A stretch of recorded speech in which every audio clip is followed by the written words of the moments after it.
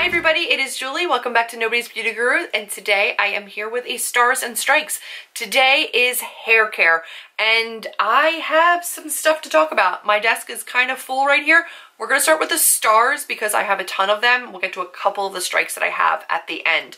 First up, although not cruelty free, I did just finish these up, is the Redken Curvaceous Curls cream shampoo and conditioner. Conditioner still has a little bit left in it, but the shampoo was gone. This works really, really well for my curls. It's also color safe and I just really enjoy it. It's not gonna be something that I repurchase because it's not cruelty free. If you are not somebody who worries about cruelty free beauty, then this might be a good choice for you if you have curly hair. I think they've repackaged or renamed it but this entire line, I had their styling cream, I've had their frizz control spray and both of these, I liked the entire line. This is not what I wanted. I wanted my Olaplex, which I thought this was Olaplex. So I'll just talk about Olaplex.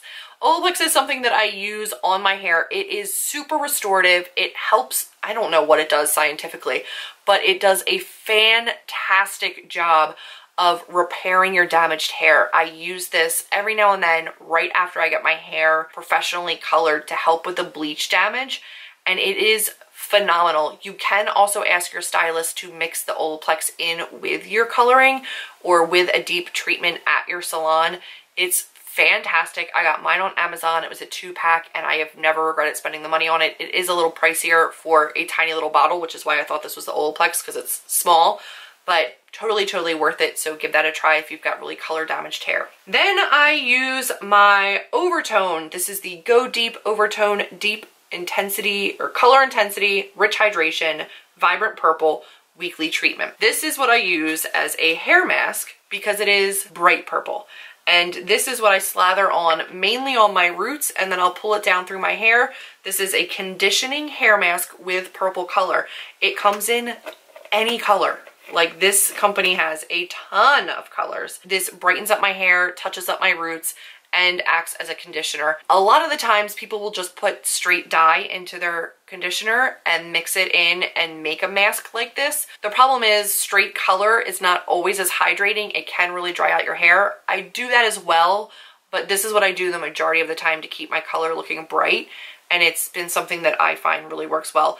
Now I have a couple of these already in store, but I do want to try Arctic Fox when I'm done with this one. I haven't tried that one yet, and it is on my to try list. I also have the Ion Color Studios. I have a giant one of these in my shower and a couple of these as backups. Color Defense After Color Sealer, so this one locks in hair color.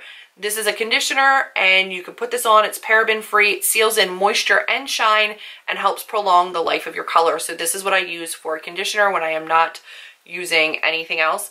I have one of these that actually stays in the shower, but this is what I use every other time or I'll put the color only on my roots and this on the rest of my hair and it helps seal your hair follicles, keep the color vibrant and looking good.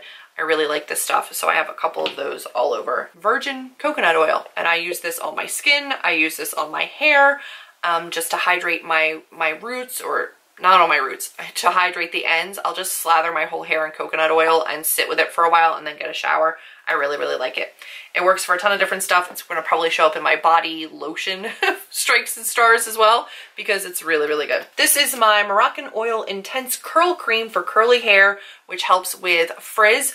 This one is right about here and I just use a pump of this after I get out of the shower and I put this in after I've like big wide tooth combed through my hair and this works super, super well. I love it. It leaves my hair smelling good and feeling good and it's phenomenal. Also use my Miracle 10 leave-in conditioner spray and this is a go-to every time I get out of the shower. I'll spray this through my hair, brush it out, and then go in with this and with this, which is a oil. Now this is the Josie Maran Argan Oil Light, but any hair oil or oil in general that's safe for your face I'll use as well. And this one normally goes just through my ends and I just like rub it in through the ends of my hair to give them a little bit more moisture because my roots and the top is actually looking okay lately, but the bottoms are still a little dry. I don't mess around with hydration on my hair, guys. Then I have my leave-in defining cream gel, and this is from Briogeo, and this is the Curl Charisma. Again, a specific curl thing, and this is a great moisturizer, but it also does defrizz and give a little bit of hold. I really enjoy this. I'll use just about a quarter size, rub it in my palms, and then work it through all of my hair while it's still damp. And then I'll give that a minute or two to just settle in and use this. And again, just a quarter size of this. This is the Briogeo Curl Charisma Rice Amino Quinoa Frizz Control Gel. This is not like your typical 90s gel. This leaves your hair feeling really light. It's what I have in my hair today. I can touch my hair. It's not crunchy. It's not firm. It's very, very soft, very, very hydrated, and I love it. These are both $20 each though, and they go pretty quickly.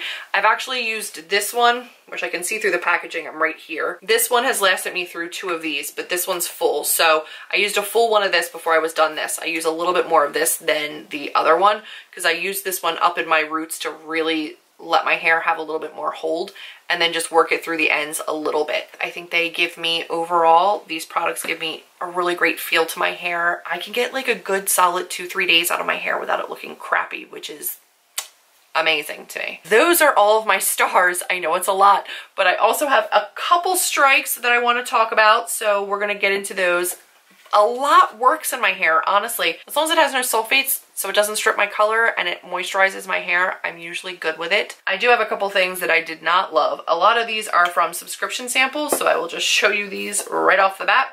The Way Hair Care Wave Spray, this is garbage.